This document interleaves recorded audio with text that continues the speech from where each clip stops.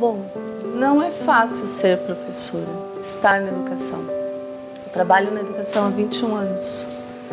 E eu acredito que a educação é a única maneira que uma, uma população, um país pode mudar, que um país pode mudar. Essa questão da valorização do profissional através do projeto do professor Nota 10 é muito bacana muito legal, muito importante, que é uma maneira dos professores mostrarem os seus trabalhos, o que é feito dentro das salas. Muitas vezes as pessoas não veem, através da educação. Então eu, eu não desisti da educação, eu acredito que é, que é a melhor maneira.